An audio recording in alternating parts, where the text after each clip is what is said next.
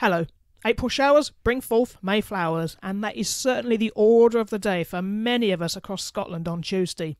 But back to Monday evening, so a good deal of dry and clear skies developing across the bulk of the country, although rather windy with some showery outbreaks of rain to the far north and west. Overnight temperatures into mid single figures, although when we see those clearing skies, temperatures cold enough for a touch of frost. So a bright start across many eastern areas tomorrow morning, although cloud and outbreaks of showery rain spilling eastwards will develop quite widely into showers across the bulk of the country during the course of the early afternoon. And temperatures are around average for the time of year with highs of 11 and 12 for many places. And looking at the outlook periods, a bit of a mixed bag next week, although with high pressure to the east, that will actually certainly help to keep the bulk of the cloud and the rain at bay, but there will be some showers around at times.